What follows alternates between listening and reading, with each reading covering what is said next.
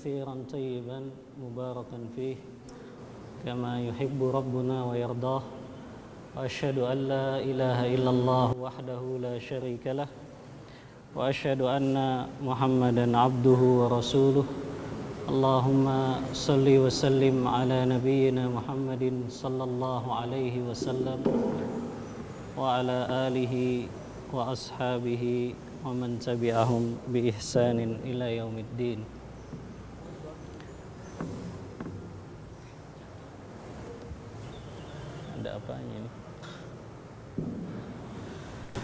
Rabbi syrah li sadri wa yassir li amri wahlul 'uqdatam min lisani yafqahu qawli. Amma ba'du. Alhamdulillah ikhwani fillah rahimani wa rahimakumullah jami'an. Sore hari ini Allah Subhanahu wa taala kembali memberikan kesempatan kepada kita dalam rangka bermajelis ilmu mudah-mudahan Allah Subhanahu wa taala memberikan kita ilmu yang bermanfaat dan juga menjadikan kita orang-orang yang beramal dengan ilmu yang kita dapatkan. Ikhwani fillah rahimakumullah. Sore hari ini temanya Ramadan bersama salafus saleh. Ya. Siapa itu salafus saleh? Ya? Siapa salafus saleh? Mereka yang hidup di generasi terbaik umat ini.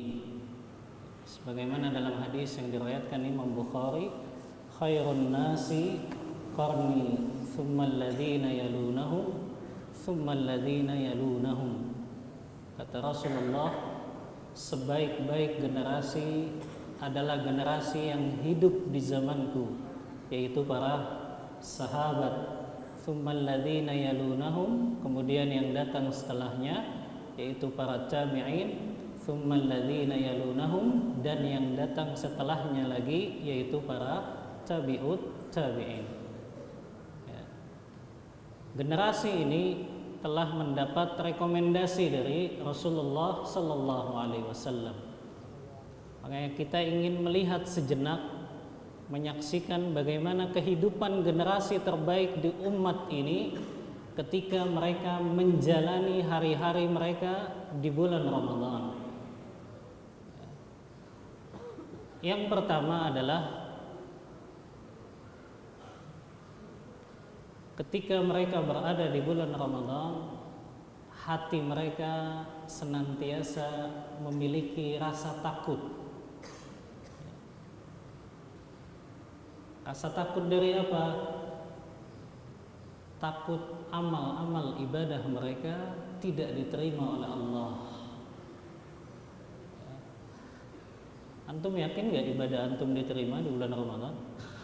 Hah? Biasanya kita kalau sudah dihadapkan dengan makanan berbuka puasa itu lupa pede sekali bahwa ibadah kita di hari tersebut pasti diterima oleh Allah. Ya. Padahal generasi salafus saleh mereka itu senantiasa hatinya memiliki rasa takut. Dan ini yang Allah abadikan di dalam Al-Qur'an. Dalam surah Al-Mu'minun ayat yang ke-60 Allah mengatakan walladzina yu'tuna ma atau wa qulubuhum wajilah mereka yang telah mendatangkan amal mereka tapi mereka dalam keadaan takut kepada Allah Makanya ketika turun ayat ini dan Rasulullah membacakan Aisyah itu bertanya kepada Rasulullah sallallahu alaihi wasallam ya. kata Aisyah ketika Rasulullah membacakan ayat ini ahumul ladzina yashrabuna al-khamra? Ya Rasulullah mereka yang datang dengan amal mereka kemudian mereka merasa takut apakah mereka orang-orang yang meminum khamar? Ahumul ladzina yaznun? Apakah mereka orang-orang yang berzina? Ahumul ladzina yasriqun? Apakah mereka orang-orang yang mencuri? La kata Rasulullah. Bukan. La ia benata siddiq. Bukan wahai Aisyah.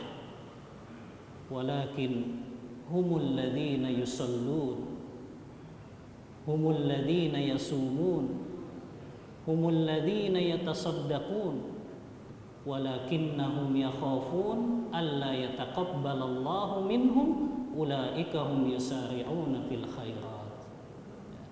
Bukan Aisyah, tapi mereka yang takut ketika memberikan amal-amal mereka adalah mereka yang senantiasa sholat, mereka yang senantiasa berpuasa, mereka yang senantiasa bersedekah, tapi dalam hati mereka senantiasa takut amal ibadah mereka tidak diterima oleh Allah Subhanahu wa taala. Ini adalah perkara pertama yang dimiliki oleh para salafus soleh ketika mereka melakukan ibadah di bulan Ramadan. Rasa takutnya luar biasa. Ya, makanya Ibnu Rajab meriwayatkan sampai enam bulan setelah Ramadan mereka senantiasa berdoa agar amal-amal ibadah mereka diterima oleh Allah Subhanahu wa taala. Kalau antum setelah satu Syawal lupa. ya. Ini salafus soleh 6 bulan setelah Ramadan masih berdoa agar amal ibadah mereka diterima oleh Allah. Ya. Kemudian ikhwani fillah mereka adalah orang-orang yang bermujahadah ketika berada di bulan Ramadan, betul-betul bersungguh-sungguh tidak ada di antara waktu-waktu mereka yang menyebabkan mereka lalai kecuali diisi dengan ibadah kepada Allah. Ya. Yang pertama kita lihat keadaan salafus soleh haluhum ma'atilawatil Quran. Keadaan mereka di bulan Ramadan bagaimana interaksi mereka yang begitu intens sekali dengan Al-Quran.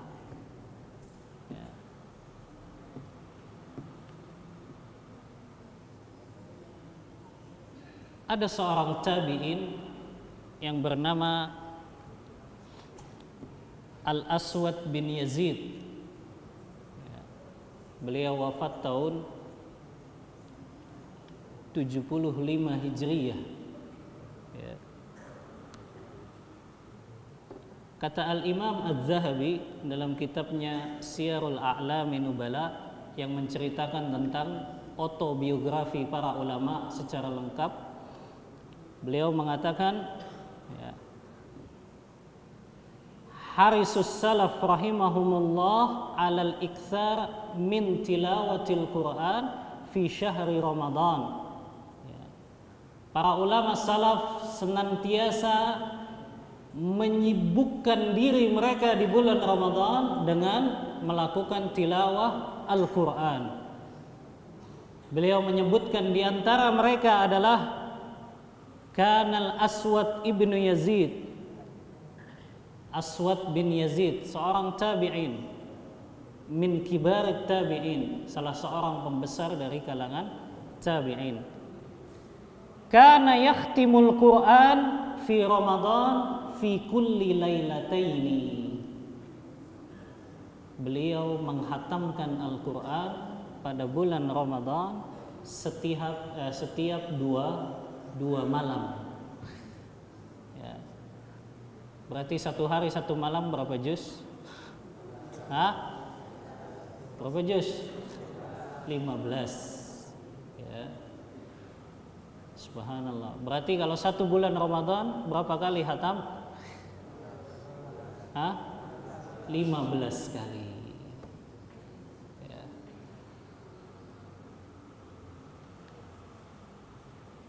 Yang lain dari kalangan tabi'ut tabi'in. Ya keadaan mereka yang begitu intens dengan Al-Qur'an. Karena Malik bin Anas kata Imam Zahabi. Malik bin Anas siapa Malik bin Anas? Gurunya Imam Syafi'i. Kapan wafatnya Imam Malik? Hah? Enggak ada yang tahu Imam Malik wafat tahun 179 Hijriyah. Ya. Kata Imam Az-Zahabi, kana Malik bin Anas idza dakhala Ramadan yafiru minal hadis wa majalisahu wa yaqbalu ala tilawatil Qur'ani minal mushaf. Ya. Imam Malik kalau sudah masuk satu Ramadan beliau menutup majelis-majelis hadisnya dan beliau sibukkan dengan membaca Al-Quran. Ya. Muridnya Imam Syafi'i, ya, kata Imam Zahabi, beliau mengambil riwayat dari muridnya Imam Syafi'i yang bernama Robi bin Sulaiman. Ya, ada dua murid Imam Syafi'i yang terkenal. Yang pertama adalah Robi bin Sulaiman, yang kedua adalah Al-Muzani. Ya. Ini dua murid Imam Syafi'i yang menyebarkan ya pemahaman dari mazhab Syafi'iyah.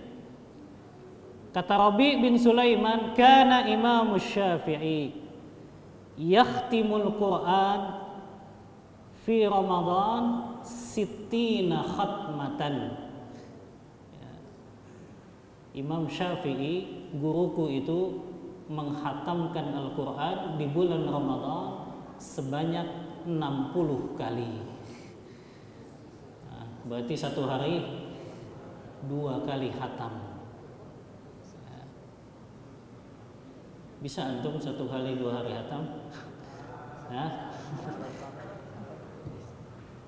ini menunjukkan mereka tidak hanya membaca Al-Quran di luar sholat saja, tapi mereka membaca Al-Qur'annya di dalam salat-salat mereka. Ya. Waktunya sama nggak di zaman salaf dengan kita? Hah? Sama tidak? Sama 24 jam. Ya. Tapi kenapa Ramadan mereka begitu berkualitas? Ya. Ini yang menyebabkan mereka betul-betul menjadi generasi terbaik umat ini. Dan mereka ketika membaca Al-Quran bukan sekedar membaca ikhwani fillah. Ya. Makanya makna tilawah ya, makna tilawah di kalangan sebagian ulama itu bukan hanya sekedar membaca saja.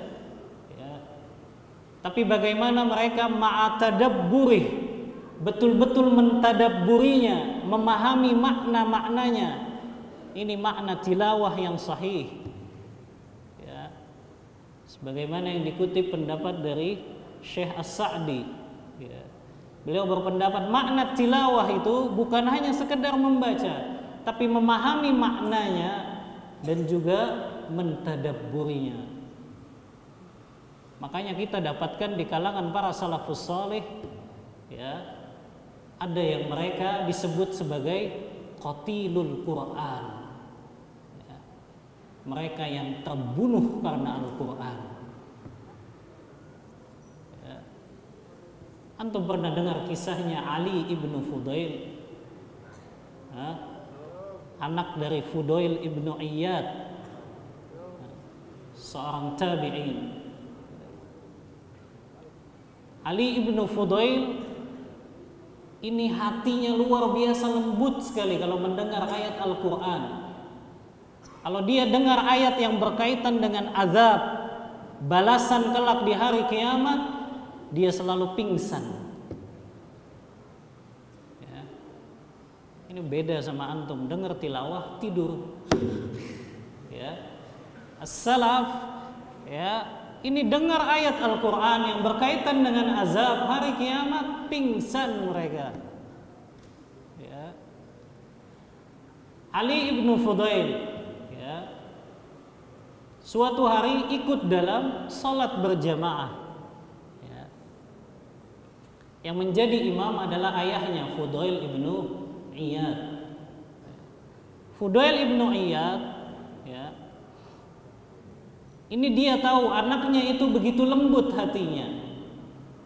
Suatu hari ketika dia akan sholat, dia belum melihat anaknya dalam jemaah sholat tersebut. Ya. Maka kemudian Fudail salat dengan membaca surah An-Najm ya. sampai kepada ayat liyajzi alladzina apa dalam surah An-Najm?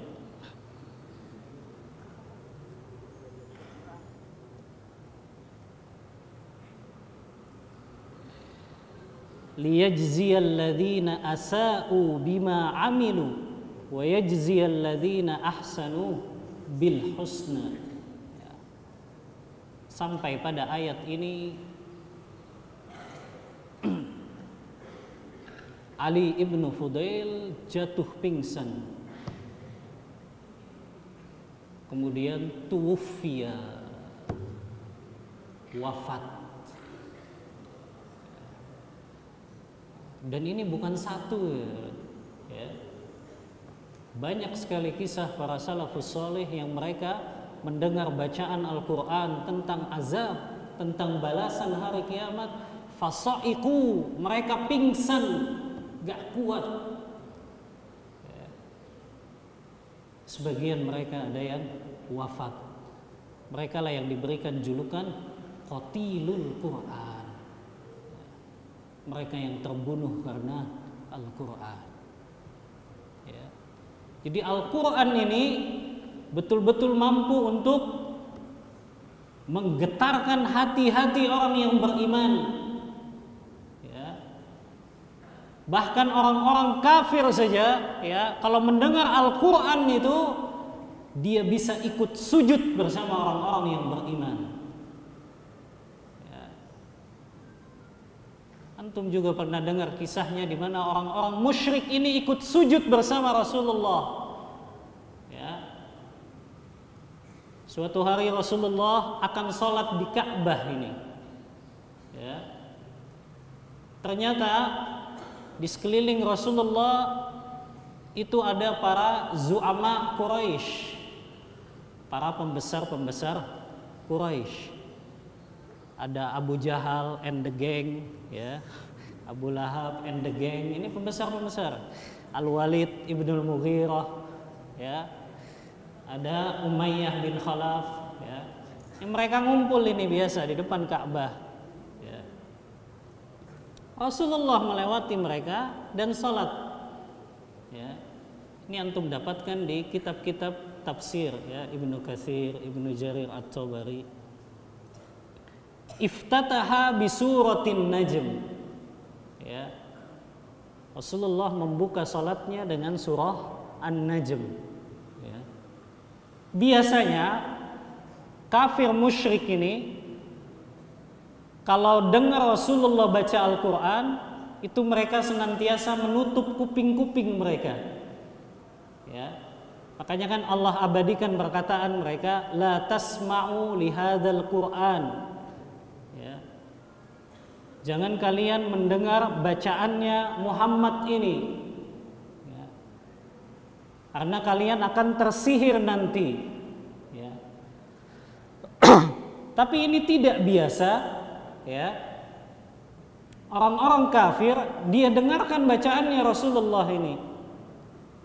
Ketika Rasulullah membaca surah An-Najm. Ya.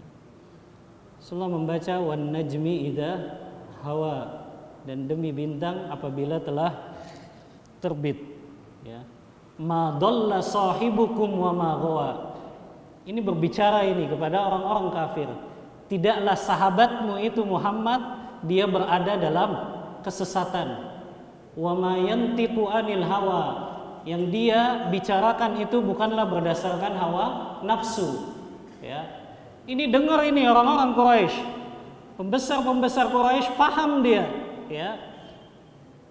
Sampai kan di ayat selanjutnya itu diceritakan tentang kaum Nuh, kaum Ad, kaum Samud yang mereka juga menolak dakwahnya para rasul sampai di ayat yang terakhir. Ya. Ayat berapa yang terakhir? 62 sampai ayat yang terakhir Rasulullah membaca fasjudu lillahi wa'budu.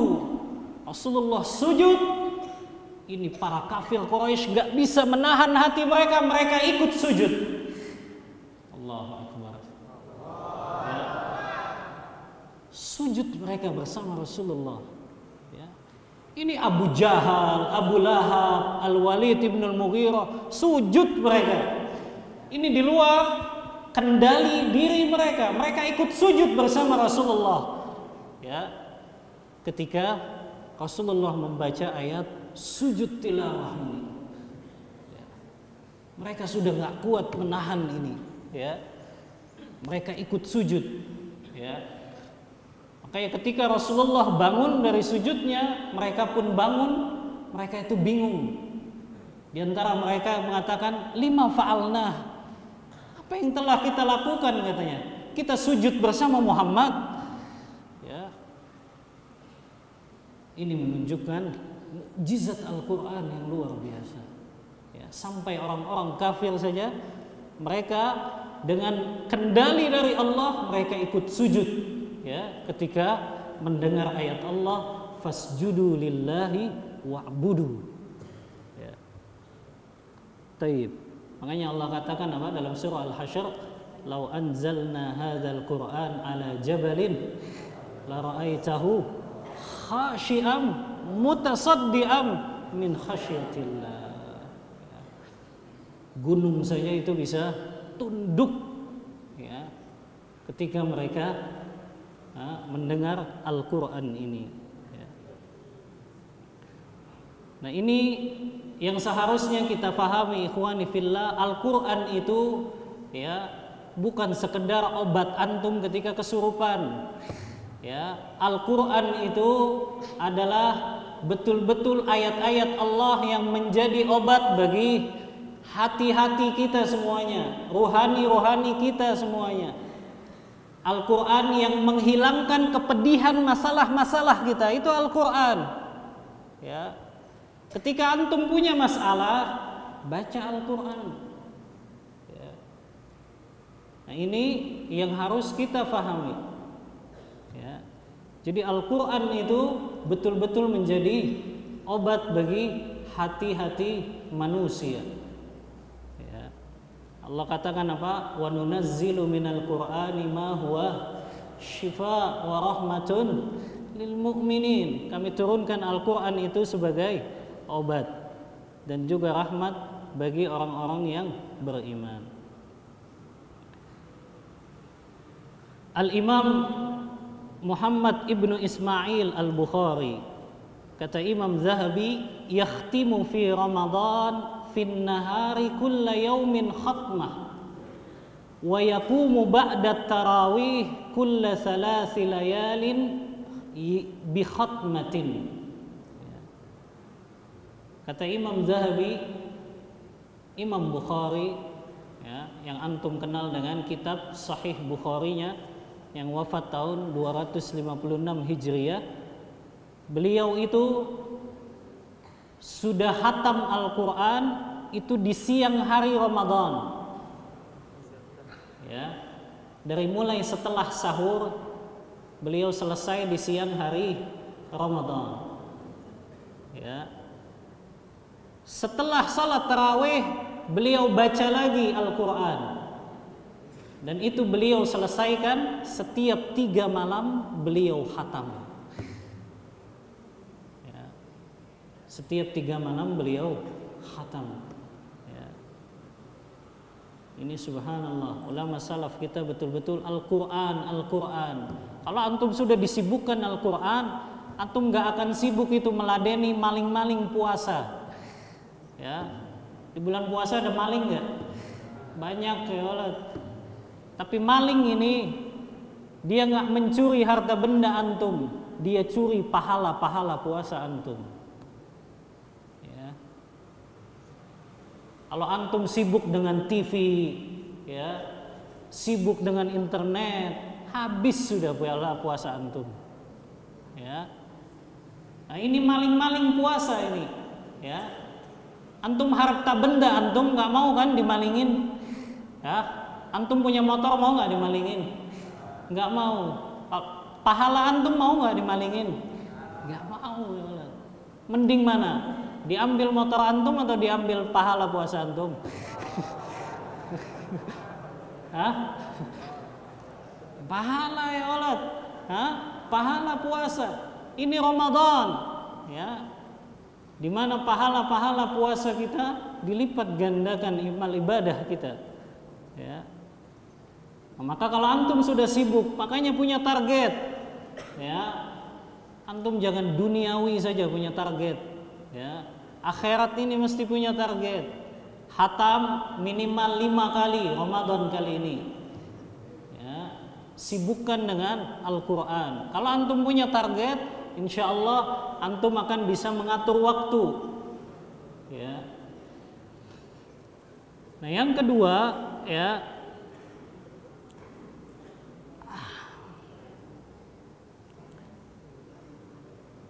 haluhum fil judi wal karam fi syahri Ramadan. Keadaan para ulama salaf yang mereka begitu dermawan dan pemurah sekali begitu mereka berada di bulan Ramadan. Dan mereka mengikuti Rasulullah SAW kata Abdullah bin Abbas yang diriwayatkan oleh Imam Bukhari dalam kitab sahihnya karena Rasulullah SAW ajwadan nasi bil khair wa kana ajwadu ma yakunu fi syahri Ramadan.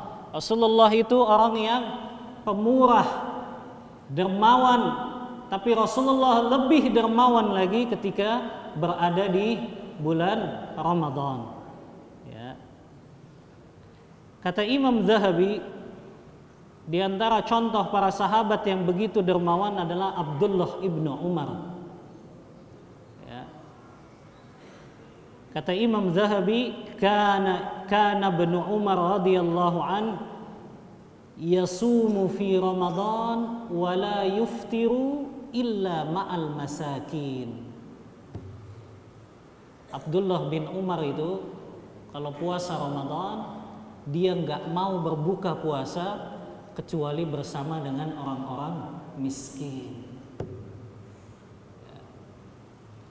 Dia kumpulkan orang-orang miskin, kemudian dia berbuka puasa bersama mereka. Ya. Ini generasi salaf paham betul dengan hadis Rasulullah man fattara iman kana lahu mislu ajrih siapa yang memberikan makan orang yang berpuasa dia mendapatkan pahala puasa orang tersebut ya. Ada seorang tabi'ut tabi'in namanya Hamad ibnu Abi Sulaiman ya.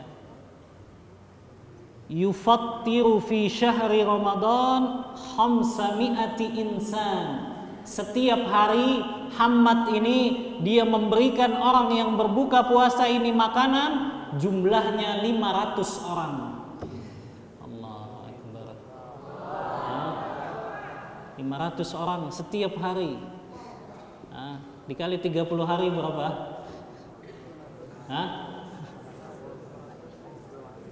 1000 masa 1500 ya Allah 15 15 ribu? Ya.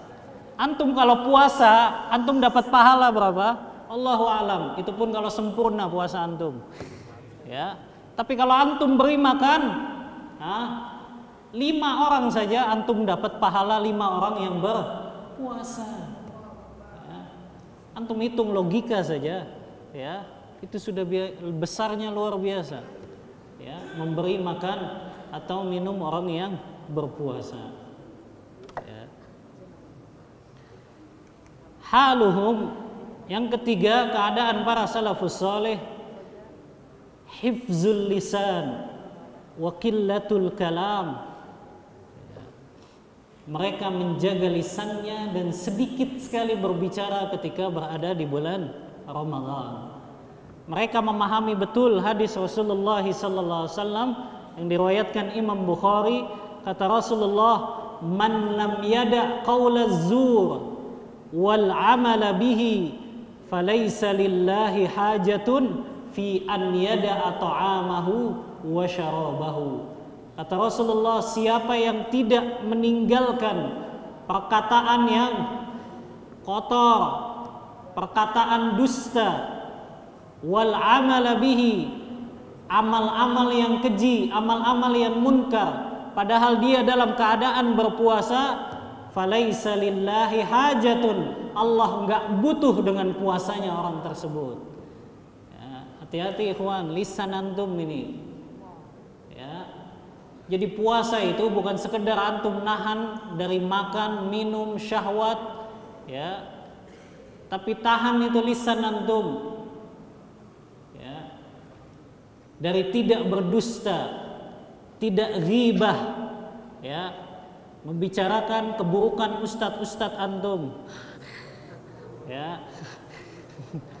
Ditahan lisannya bulan Ramadan. Ya. Tidak berdusta, tidak ghibah, tidak sumpah palsu. Ya. Ini kalau antum tetap lakukan sayang. Ya, Rasulullah kan sudah mengabarkan rubba imin. Nah, antum sudah belajar nahu. Kata rubba itu menunjukkan apa? Litaksir, menunjukkan kuantitas yang banyak sekali. Ya. Rubba imin laisa lahu min siyamihi illal ju' wal atash.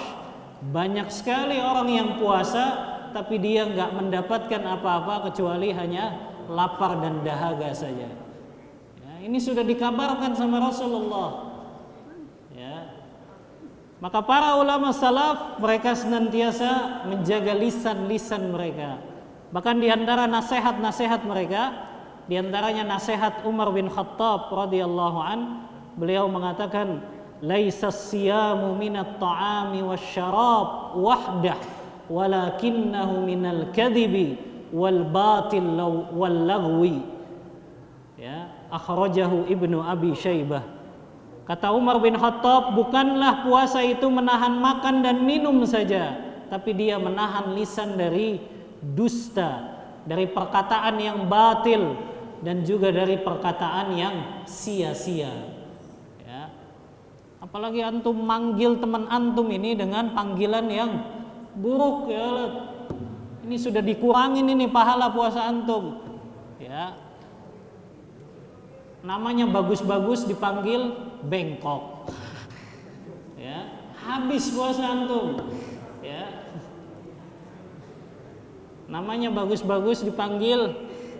Siapa dipanggil? Nah, nah ini mengurangi pahala puasa antum ya antum berapa kali manggil orang itu dengan julukan yang buruk habis pahala puasa antum sayang. Ya.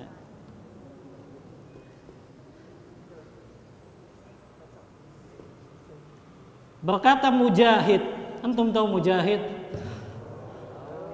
Mujahid ini seorang tabi'in. Ya. Murid dari Abdullah ibnu Abbas. Ya, kata Imam Zahabi ini pembesarnya ahli tafsir di kalangan para tabi'in. Kalau mau belajar tafsirnya Ibnu Abbas, belajarlah kepada Mujahid. Eh, riwayat-riwayat Mujahid ini banyak di kitab-kitab tafsir. Ya. Kata Mujahid, khoslatani dua perkara. Man hafidhahuma siapa yang mampu menjaganya dari dua perkara ini salimalahu saumuh maka selamatlah puasanya orang tersebut. Apa itu? Al-ghibatu wal kadhib. Seseorang tidak melakukan ghibah ya, membicarakan keburukan saudaranya dan dia juga tidak berdusta. Ya. Karena yang banyak orang lakukan ini ghibah ya di bulan Ramadan. Ya. Ini sampai jam berapa? setengah enam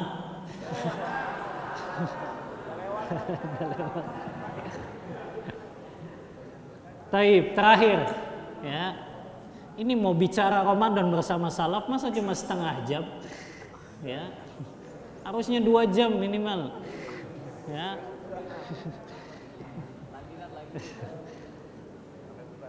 terakhir ya ahwalus salaf ma'al waqti ya keadaan mereka yang begitu betul-betul memanfaatkan waktu mereka ketika Ramadan.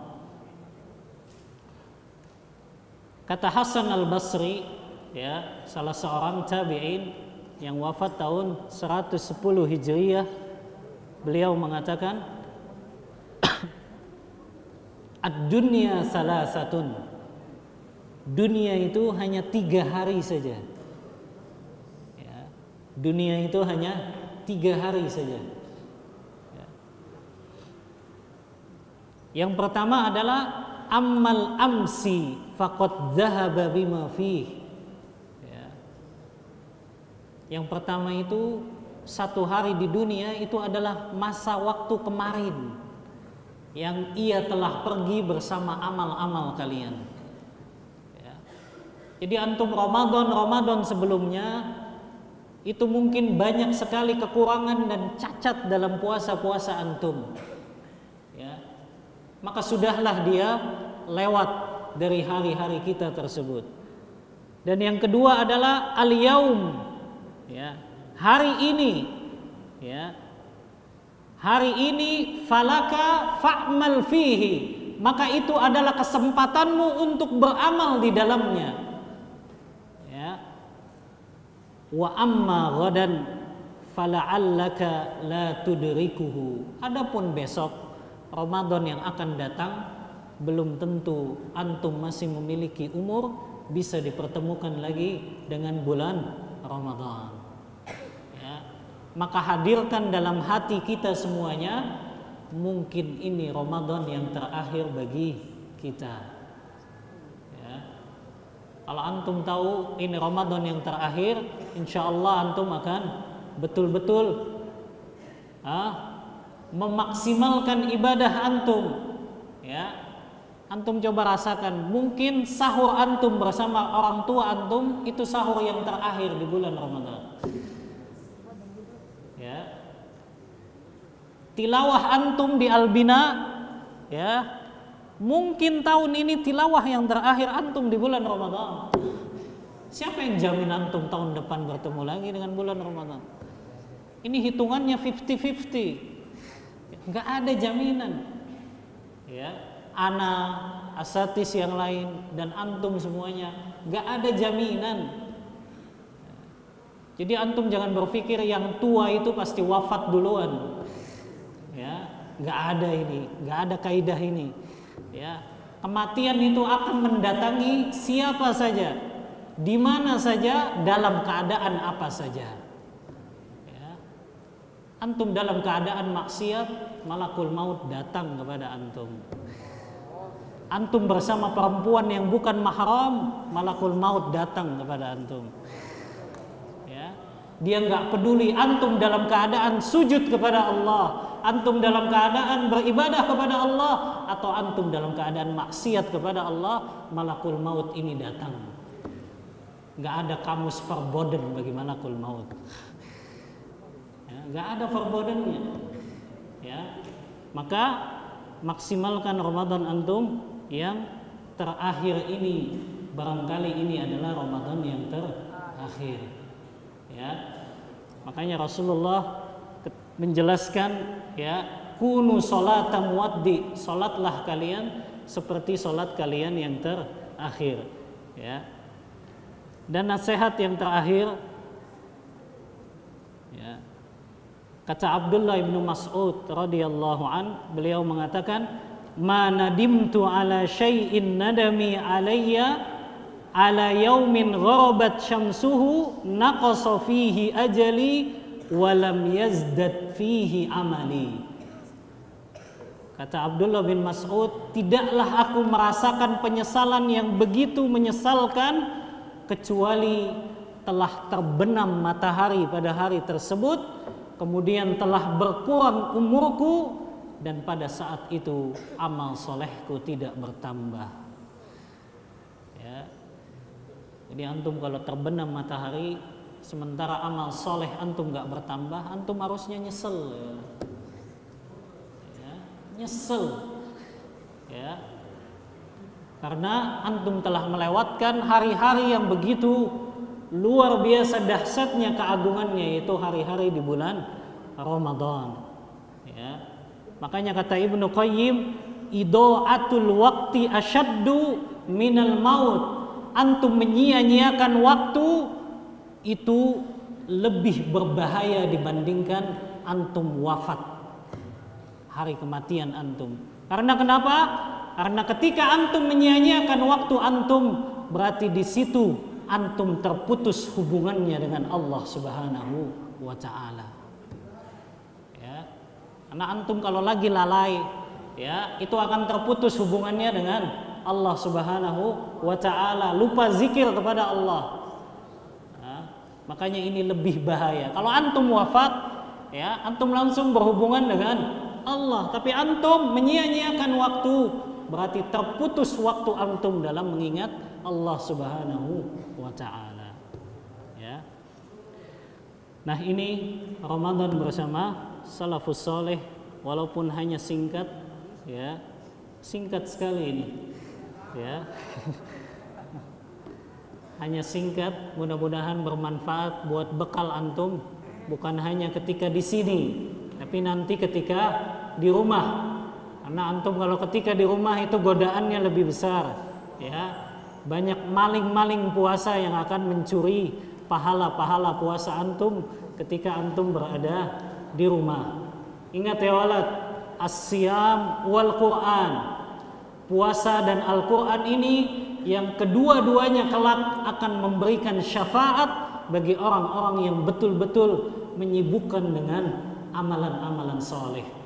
Ya, Hadis riwayat Imam Ahmad menyebutkan puasa dan juga Al-Quran kelak mereka akan memberikan syafaat kepada orang-orang yang di bulan Ramadan mereka menjalankan puasanya dengan sebaik-baik amal saleh dan mereka menyibukkan diri mereka dengan membaca Al-Quran di bulan yang mulia ini. Fayusyaffa'an kata Rasulullah puasa dan Al-Quran akan memberikan syafaat kepada hamba yang menyibukkan dalam puasa Ramadan ini dengan membaca Al-Quran. Mudah-mudahan bermanfaat untuk ana dan antum pribadi. Mohon maaf kalau ada kata-kata yang kurang berkenan. Ala Muhammadin wa ala alihi wa sahbihi wasallam. Kita tutup dengan doa kafaratul majlis. Subhanakallahumma wa bihamdika asyhadu an la ilaha illa anta astaghfiruka wa atubu ilaik. العالمين السلام عليكم ورحمة الله وبركاته